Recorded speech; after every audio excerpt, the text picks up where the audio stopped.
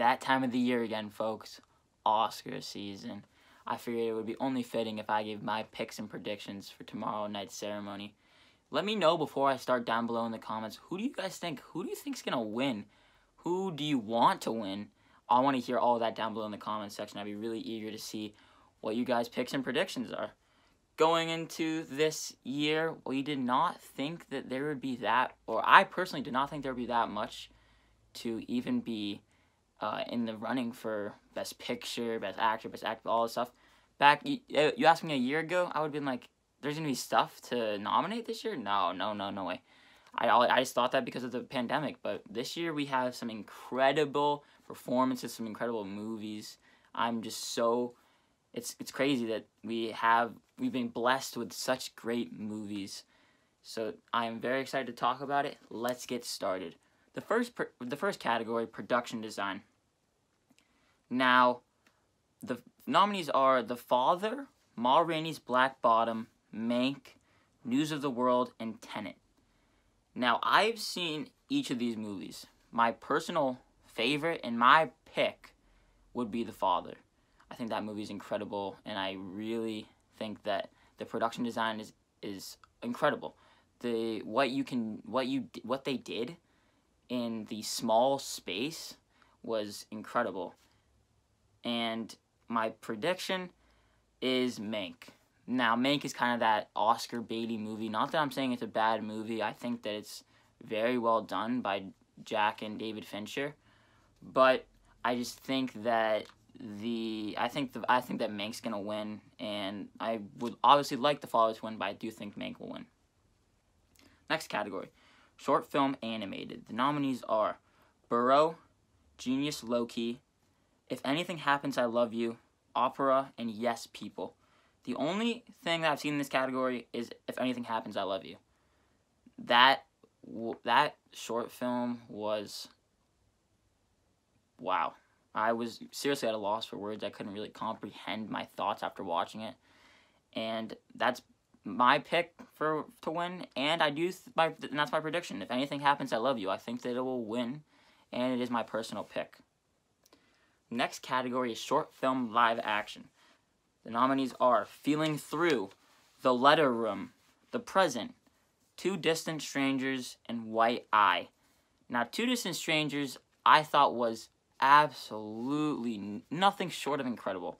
I loved Two Distant Two Distant Strangers. It's a weird movie or short film to say that you loved, but I thought it was so powerful. For the 30 minute runtime, they were able to do a lot, and I think it's uh, just so deserving of the award. That's my pick, and that's my prediction for Two Distant Strangers. Next category, Sound, also known as the Sound of Metal category. This is an easy win. The nominees are Greyhound, Mank, News of the World, Soul, and Sound of Metal. Sound of Metal, incredible sound design. I like how they merged the sound design and sound editing categories together.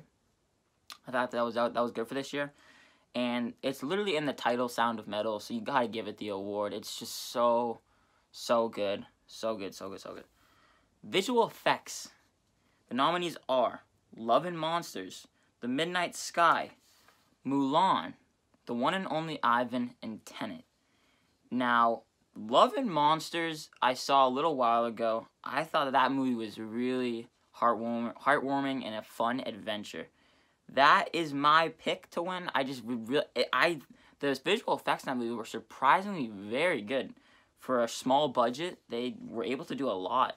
So that's my that's my personal pick love for Love and Monsters, but I do think Tenet will win. That Tenet was not my favorite movie of the year. I know it was a lot of people's favorite. I didn't love it. I didn't hate it.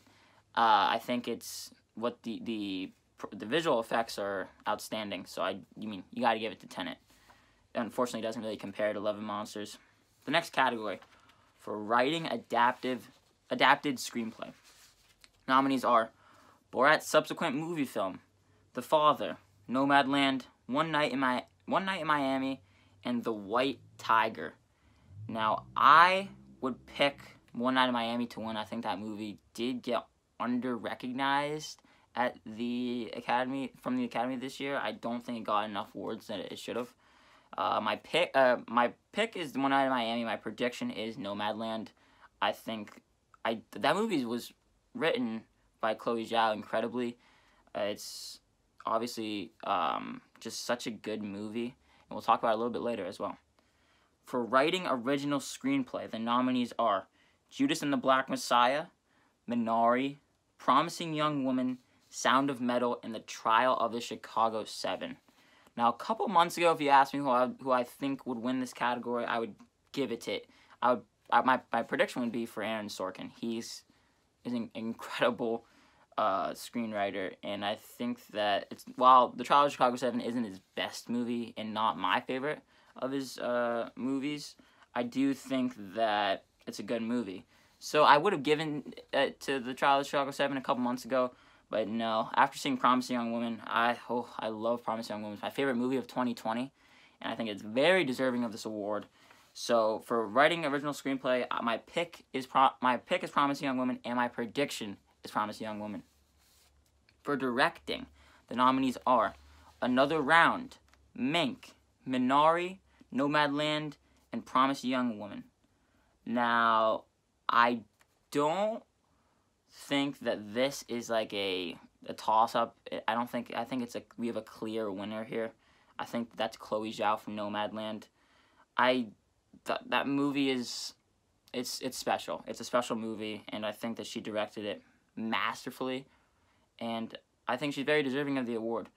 I my pick maybe would have been for Emerald Emerald Fennell for Promising Young Woman, but at the end of the day, I think that what Chloe Zhao did with Nomadland was excellent. So that's my pick and my prediction for Nomadland. Now, documentary feature. The nominees are Collective, Crip Camp, The Mole Agent, My Octopus Teacher, and Time. I have not seen any of these nominees, so I, I my my prediction will be My Octopus Teacher. I I honestly thought that Time would have a good shot, uh, but honestly, now looking at it, I think that My Octopus Teacher has the best shot of winning. It's a I've seen a little bit of it. It's very interesting. So that's my that's my prediction. For documentary short subject, nominees are Colette, A Concerto is a Conversation, Do Not Split, Hunger Ward, and A Love Song for Latasha. Again, I have not seen any of these nominees. I do think Colette will win. That seems like the front runner in this category, so I'm gonna have to give it to Colette. But all these, I think, sound excellent. And let me know down below if I should check any of them out. I'm very interested to see. The nominees for film editing are The Father, Nomadland, Promising Young Woman, Sound of Metal, and The Trial of the Chicago Seven. Now, my pick would be for The Father. That movie relies on the editing, in my opinion. And not only the editing, but Anthony Hopkins, who we will also talk about a little bit later. But the editing in The Father is incredible. So, so good. And how they how they edited it together was amazing. Um, but my prediction is Sound of Metal. I think it's just kind of like the safe, let's give it to Sound of Metal kind of thing. And I, I, I love the sound of, I love Sound of Metal, you know, but my personal pick would be The Father, but I do think Sound of Metal will win. For international feature film, the nominees are Another Round, Better Days, Collective, The Man Who Sold His Skin, and I don't want to butcher this, but the film from Bosnia and Herzegovina. I think that all of these movies, I've only seen Another Round, so that's my personal favorite. I heard that the film from Bosnia is, I'm hearing a lot of good things about that, so let me know if I should check out that one. But my pick and prediction is going to go to Another Round. That movie is awesome. I really enjoyed it. For makeup and hairstyling, the nominees are Emma, Hillbilly Elegy, Ma Rainey's Black Bottom, Mank, and Pinocchio. I have only seen Ma Rainey's Black Bottom, Hillbilly Elegy, and Mank. Uh, I saw bits and pieces of Pinocchio. That movie looked from from the makeup and hairstyling. That movie looked very very interesting. It's what what what you can do is so cool. So th- th- this is an interesting category. My pick and prediction is gonna go to Ma Rainey's Black Bottom. I think that Viola Davis uh, got some nice makeup done by these artists. So I think that it's uh, my pick and prediction is Ma Rainey's Black Bottom. For music original score, the nominees are The Five Bloods, Mank, Minari, News of the World, and Soul.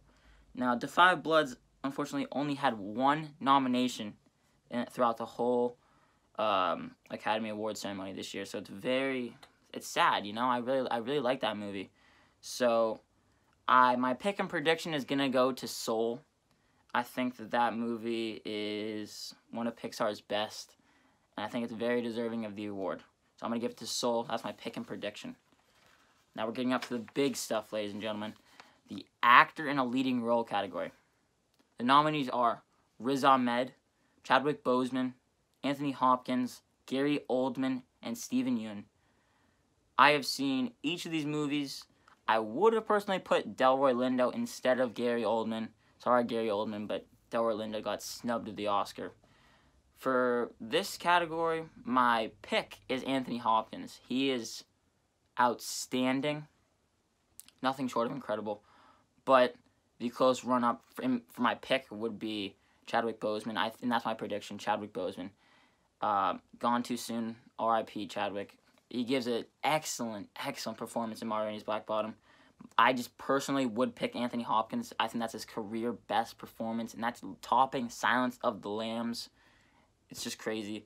I do think Chadwick will win. I think that the Academy um, will give him the award. I think he's very deserving. Also, don't count out Riz Ahmed. He was almost my pick. I really love his performance in Sound of Metal, but I do think Chadwick gets the award. The actor in, the, in a supporting role category. The nominees are Sacha Baron Cohen, Daniel Kaluuya, Leslie Odom Jr., Paul Raci, and Lakeith Stanfield. I did not think that Paul Raci was going to get nominated this year. He is so deserving of the award. If Daniel Kaluuya wasn't, if Judas and Black Messiah, if it wasn't nominated, I think that Paul Raci would have had almost the best shot at winning, next to maybe Sacha Baron Cohen or Leslie Odom Jr. My pick is Paul Raci.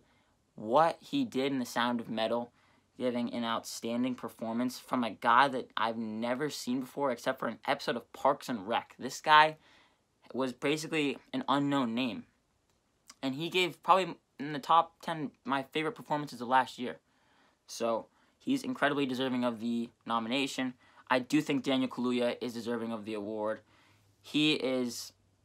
I, I don't. I wouldn't say he tops Paul Raci, just from my uh from my in my opinion, but I think that Daniel Kaluuya is also incredible in Judas and the Black Messiah. So he is my prediction. For actress in a leading role, the category the nominees are Viola Davis, Andra Day, Vanessa Kirby, Frances McDormand, and Carey Mulligan. My I really my favorite performance in this category was from Carey Mulligan in Promising Young Woman.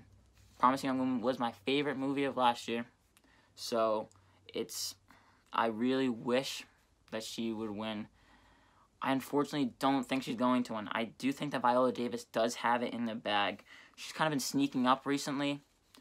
Honestly, I think that everyone has a shot of winning the award except for maybe Vanessa Kirby. I think she has the less, uh, the least amount of chances of winning. I think that Vanessa Kirby might be the best, in my opinion, out of all of these actresses. The performance she gives in Pieces of Woman is, oh my, it's heartbreaking. And on it, but I do think Viola will win. But Carey Mulligan, I really do hope she wins. I would be so, so happy if she wins. But I think Viola Davis will win the award.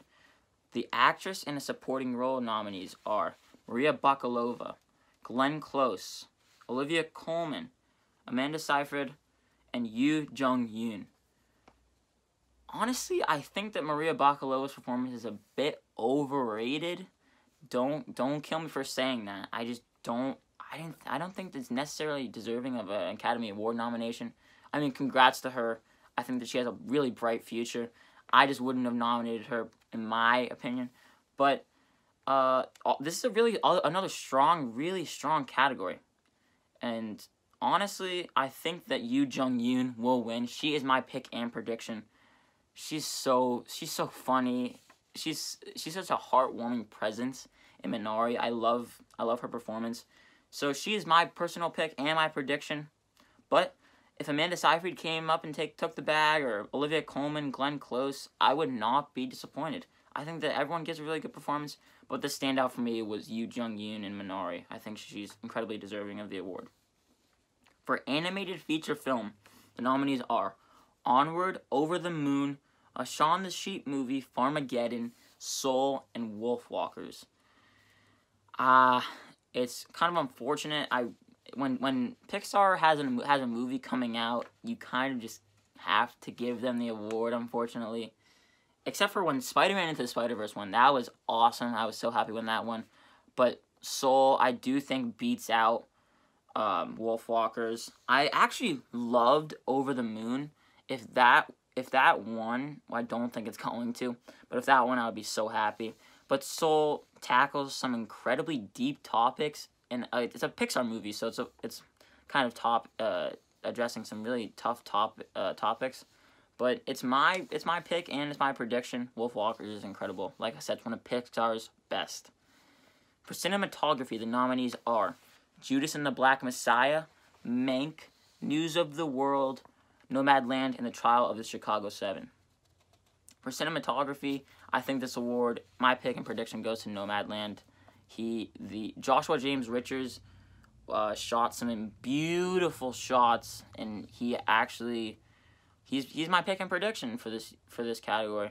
I think that Judas and the Black Messiah has some, some really nice cinematography. News of the World also has some really nice cinematography. Uh, and Trial of the Chicago Seven, it's fine. Mank as well, it's fine. But my pick and prediction is no for Nomadland. For costume design, the nominees are Emma, Ma Rainey's Black Bottom, Mank, Mulan, and Pinocchio.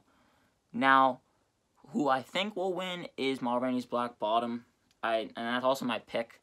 I haven't seen Emma and I haven't seen the full uh, Pinocchio. I've seen bits and pieces of Pinocchio, but I think my pick and prediction is going to go to Ma Rainey's Black Bottom. Some really nice costume design in that film. The last category, right before Best Picture. For Music Original Song, the nominees are Fight For You from Judas and the Black Messiah, Hear My Voice from The Trial of Chicago 7, Husavik from Eurovision Song Contest, The Story of Fire Saga, EOC Scene from The Life Ahead, and Speak Now from One Night in Miami. Now, my pick would go to Husavik. I really, I actually really surprisingly liked that movie. I thought it was pretty fun. It was a fun movie. Came out early pandemic and it was a good surprise. But, um, and that's my pick for Husavik. But I do think Speak Now will win. It's an incredible song, and Leslie Odom Jr. performed it phenomenally. But all these songs are really solid. And let's get on to the biggest category of them all Best Picture. The nominees are The Father, Judas and the Black Messiah, Mank, Minari, Nomadland, Promising Young Woman, Sound of Metal, and The Trial of the Chicago Seven. Now, it's kind of been known for a while that Nomadland will most likely take the bag. I think it's very deserving. Honestly, all of these movies, in some way, shape, or form, are deserving of the award. I think that they're all incredible. The Trial of Chicago 7 might have a shot, but I do think that Nomadland does take the award. My my pick, though, would be for Promising Young Woman. It's my favorite movie of last year, like I said, and I would love to see that movie win. It's kind of the underdog, uh, but again, any of these movies, if they if any of these movies won, I would be so happy. And, th- and this is a and this was a really strong year for film. I think all these films are really good to outstanding. Honestly, I haven't like I said, I haven't seen every single film nominated, but honestly, this was a really strong year and it was a surprising year. So thank you guys so much again for watching, sticking around to the end of the video. This is a really I, I love the Oscars and I love talking the Oscars. I cannot wait for next year. And next year, I do think I'll do a Golden Globe picks and predictions and the Oscars yet again. So thank you guys. for coming to the first annual Picks and Predictions with Meter's Reviews. If you guys did enjoy the video, do give it a like and subscribe if you haven't already. Thank you guys again so much for watching. My name is Ben. People call me Meter. Keep a lookout for new videos coming soon. I'll talk to you guys soon.